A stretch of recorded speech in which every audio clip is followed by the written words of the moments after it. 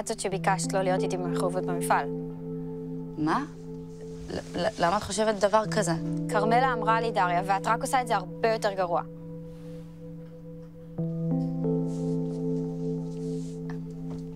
אני...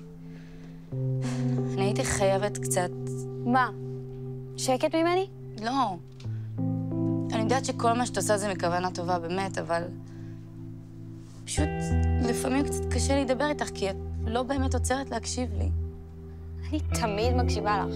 והאמת, הרבה יותר משאת מקשיבה לי. איכשהו את תמיד חייבת להיות במרכז של הכול. לא, לא, לא, זה בדיוק מה שאני לא רוצה.